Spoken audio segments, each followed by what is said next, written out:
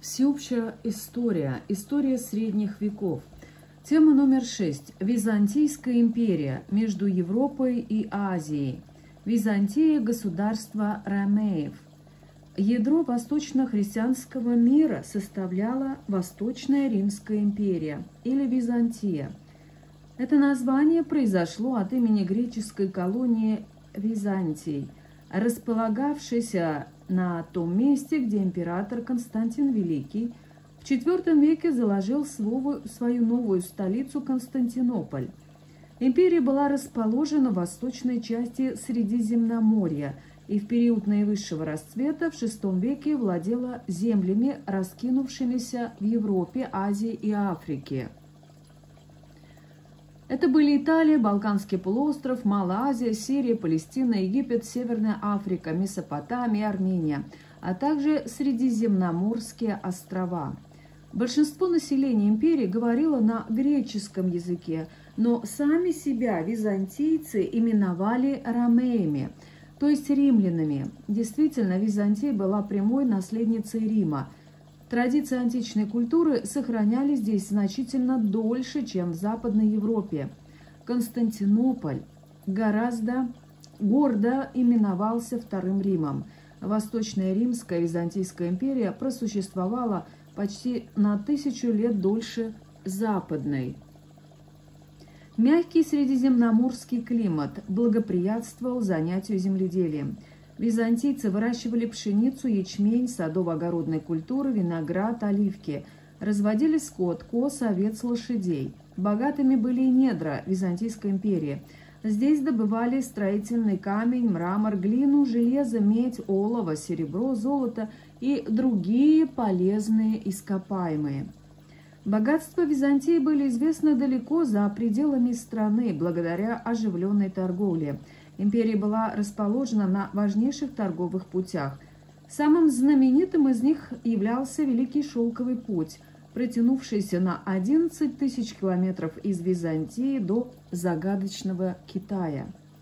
Еще один путь, путь благовоний, вел через Аравию, порты Красного моря и Персидского залива к сказочно богатым странам Азии – Византия оставалась страной городов. Их населяли искусные ремесленники, изделия которых ценились повсюду. Настоящим чудом была столица империи – Константинополь.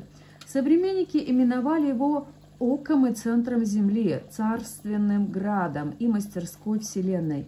Огромный город, насчитывавший сотни тысяч жителей, бесперебойно снабжался всеми необходимыми товарами – в гавань Золотого Рога заходили тысячи кораблей. По сухопутным путям городу шли сотни караванов, нагруженных разнообразными товарами. Еще с античных времен город украшали великолепные храмы и дворцы. На площадях стояли статуи богов и героев.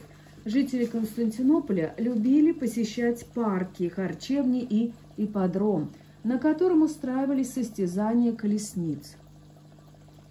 Государство и церковь Византии. Важной особенностью Византии была сильная императорская власть, которую ромеи считали священной, исходящей от Бога. Император назначал чиновников и военачальников, контролировал сбор налогов, осуществлял суд. Он распоряжался всей землей казной страны, мог возвысить или наказать любого своего подданного.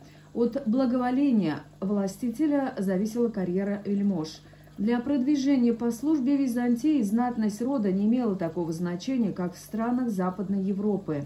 Императорский престол часто захватывался удачливым военачальником или вельможей. Только треть императоров получили его по наследству. Высшая власть Византии нередко оказывалась в руках людей незнатных, но удачливых и талантливых. Огромным авторитетом Византии пользовалась христианская церковь. Ее главой был Константинопольский патриарх от греческого слова «отец». Если римский папа претендовал не только на духовную власть над всеми христианами, но и на верховенство над королями, герцогами, князьями, то в Византии патриархом мог быть избран только тот, кто был угоден императору. Патриарх и император делили власть над подданными. Один был духовным наставником, другой господствовал в мирских делах. Византии при императоре Юстиниане I. Вершины своей славы и могущества Византия достигла в правлении императора Юстиниана I 527-565 годы. В начале его правления в 532 году рост налогов, произвол императорских чиновников вызвали мощное народное восстание, получившее название Ника от греческого слова «побеждай». Таков был лозунг восставших. Мятежники быстро захватили почти всю столицу – но император при помощи верных войск подавил восстание народа. Проведя реформы, Юстиниан I укрепил внутреннее положение государства. Он ограничил произвол вельмож и крупных землевладельцев, которые захватывали земли свободных крестьян, принуждая их переходить под свое покровительство и становиться зависимыми людьми. Юстиниан I запретил знати захватывать крестьянские земли – по его приказу лучшие византийские юристы собрали и переработали многие римские законы. Вместе с постановлениями самого императора они были записаны в сборник, получивший позже название «Кодекс Юстиниана».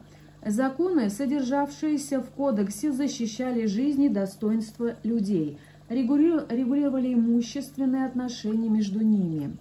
Юстиниан I решил восстановить Римскую империю в прежних границах – Против варварских королевств на Западе была брошена сильная армия. Используя междоусобицы в рядах своих противников, византийцы сумели нанести им серьезные поражения. Юстиниану I удалось присоединить к владениям империи Италию, Северную Африку, часть Пиренейского полуострова. Для укрепления границ империи была построена непрерывная линия крепостей. Казалось, что возродилась прежняя Римская империя, контролирующая почти все Средиземноморье. Однако огромная держава, созданная силой оружия, была непрочной. Византия в VII-XI веках. После смерти императора Юстиниана I Византия потеряла многие свои владения, и приходилось сдерживать атаки все новых и новых врагов. Грозным противником империи на востоке был Иран. Длительные кровопролитные войны двух держав истощали обе стороны, не давая решающего перевеса ни одной из них. А все же в VII веке византийцам удалось восстановить свои рубежи на востоке. Они отвоевали Сирию и Палестину, а похищенный иранцами Святой Крест, на котором по преданию был распят Иисус Христос, вновь водрузили в священном для всех христиан Иерусалиме. В VII веке у империи появился новый, еще более опасный враг – арабы. Под их ударами пал Иран – а Византия лишилась почти всех своих африканских и азиатских провинций, кроме Малой Азии. К XI веку Византия возродила свое могущество, хотя ее территория несколько сократилась по сравнению с VI веком.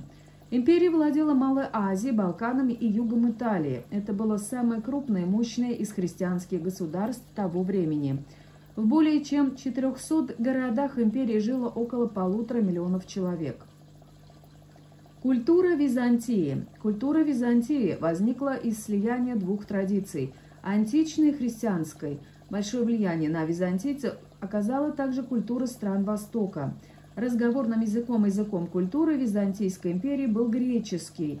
Культура Византии, так же как и на западе Европы, формировалась под сильным влиянием христианской религии.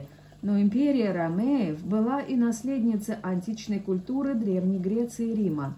Набожные христиане-византийцы прониклись уважением к духовному подвигу отшельников и монахов, сочинением богословов и их проповедям. Константинополе строились великолепные христианские храмы, создавались произведения христианских авторов, живопись, архитектура, литература и музыка византийцев прославляли деяния Господа и святых подвижников христианской веры. Грамотных и образованных людей Византии уважали, не только знать, но и простые горожане стремились дать своим детям образование. Главным источником знаний были рукописные книги, стоившие очень дорого. Только богатые люди могли себе позволить иметь дома библиотеку. Переписка книг была трудным и кропотливым делом. Им занимались в основном монахи. Книги играли важную роль в распространении утверждений христианства. Без богослужебных книг нельзя представить себе ни одну христианскую церковь. Евангелие, главная книга христиан, всегда лежала на алтаре, символизируя присутствие Иисуса Христа в храме. Ромеи любили читать жития святых и сочинения отцов церкви, которые в своих работах разъясняли сложные богословские вопросы. Византийская архитектура и живопись. Столица Византийской империи поражала своими великолепными дворцами и храмами. Особенно много построек было возведено при императоре Юстиниане I, не жалевшем средств для украшения Константинополя. Желая прославить деяние Бога и остаться в веках великим правителем, Юстиниан приказал возвести самый большой в то время храм христианского мира. Это был собор Святой Софии, премудрости Божией, построенный под руководством архитекторов Анфимия и Исидора всего за пять лет. А внутреннее пространство величественного храма венчает огромный купол, диаметр которого превышает 30 метров. В основании купола находится 40 оконных проемов. Свет, льющийся из них, создает впечатление невесомости купола, как бы парящего над собором, подобно небесному своду. Стены и даже пол храма были выложены мрамором, украшены золотом и серебром. Византийцы были непревзойденными мастерами мозаик, создавшихся на стенах и сводах храмов из небольших кусочков цветного непрозрачного стекла смальты. Другим видом живописи были фрески, картины, выполненные по сырой штукатурке. Чаще всего фресками расписывали стены церквей. На них изображали эпизоды из Священного Писания, рассказывали о жизни мучениях Иисуса Христа, подвигах святых, прославляли деяния императоров. В храме помещались иконы – в византийской живописи существовал канон. Иконы, например, считались не просто изображениями Бога или святых, а окном в небесный мир, где все иначе, чем на земле. Именно поэтому фигуру Христа рисовали в несколько раз крупнее изображения его окружавших. Каждое живописное произведение внутри храма имело строго определенное место. В куполе помещалось изображение Христа в виде грозного судьи, Ниже были изображены ученики Христа, апостолы, на стенах и столбах святые и пророки. На западной стене храма сцена страшного суда. Византийцы были лучшими строителями и художниками своего времени, поэтому их часто приглашали для сооружения и украшения церквей правители других стран – Болгарии, Сербии, Руси, Руси и Италии. Подведем итоги. Многие века Византия оставалась могущественным христианским государством – находившимся на границе Европы и Азии. Для Византии была характерна сильная государственная власть и подчинение церкви императору. Культура Византии вобрала в себя богатое наследие античности, христианскую мудрость и достижения Древнего Востока –